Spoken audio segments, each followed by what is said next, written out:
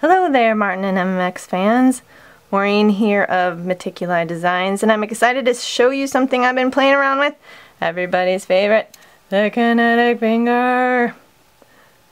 Uh, what I've done here with this prototype is add a cable mechanism which is what puppeteers use to articulate fingers. I think this give the gives the fingers a nice Tim Burton-y and Animusic motion with no floppiness.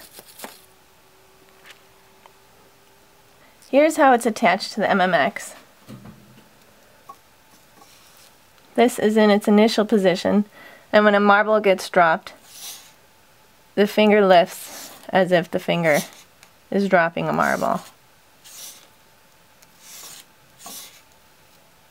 The way the cable gets pulled is by being pulled against this rod, which would be threaded between all 19 circular pieces and welded at the end of the machine. This keeps the tension on the cable in the down position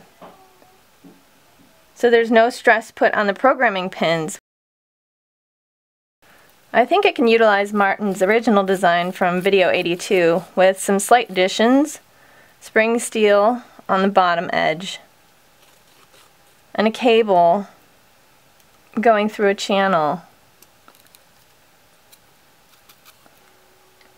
just like we saw here.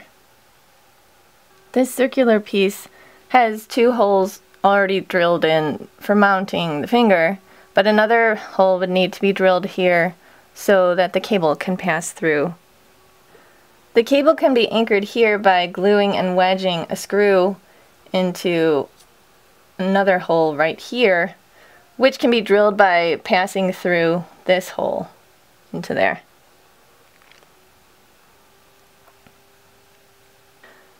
I'm just using string for my test, but you probably want to use something like this braided wire here, flexible and strong. I think it's used for hanging pictures. In the next few days, I plan to make a visualization in a 3D program of what all 19 fingers would look like with this motion, so keep your eyes peeled for that. And if you're interested in learning more about puppet cable mechanisms, I've got some links down below. A lot of fun working on this, and whether or not you love or hate the kinetic fingers, I hope you enjoyed watching this little video.